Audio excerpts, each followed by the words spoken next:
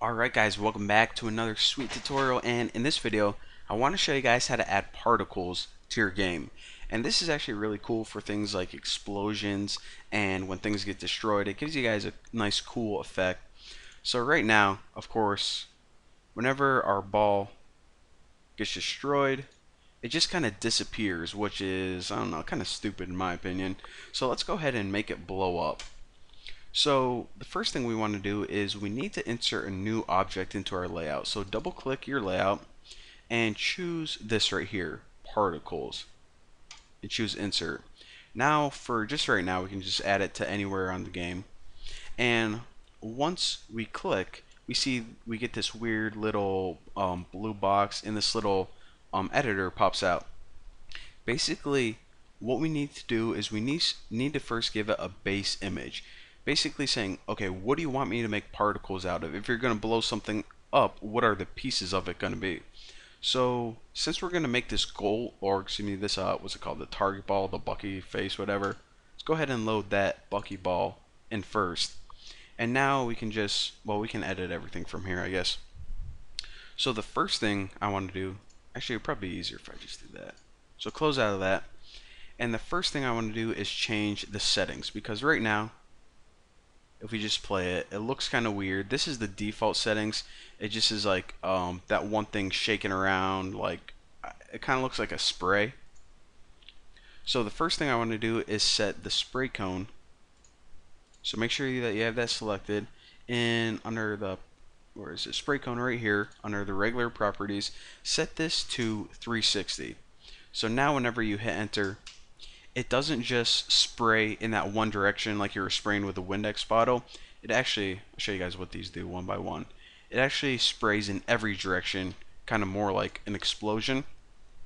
Now after this, what you can do is set the speed equal to 100. Actually, not that.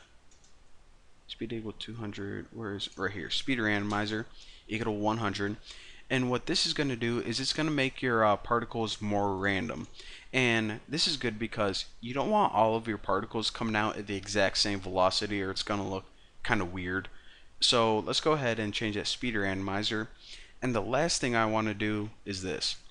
Right now, whenever you play it, okay, so it kind of looks like a constant stream of like, uh, not an explosion, just like a constant stream of crap being uh, sprayed at you or something.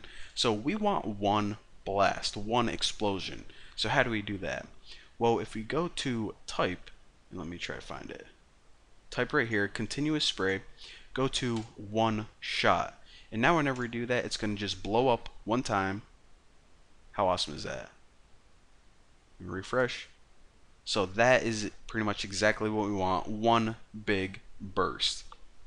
So now that we got our explosion taken care of when we learn how to make a cool explosion effect, what we need to do is add the logic to say, okay, add this effect whenever the ball or whenever we reach the goal, the ball is destroyed.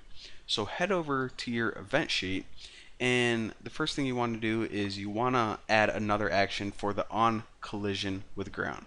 Because we already got the two events that we need, um, these are the two events basically whenever the balls are destroyed. So add an action right here.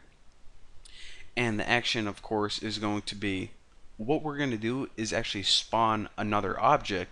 So hit target ball. Spawn another object. And the object is oh let me do this first. This might be a little easier to see. Take this particle effect and name it explosion so basically now we can go ahead and add another object, target ball, spawn another object, that explosion right here. They kind of look the same before, so that's why I had to name it. And of course, the layer that we want this to appear on is 1, because that's where all the cool stuff is. And image point 0 pretty much means it originates for the center, just like before.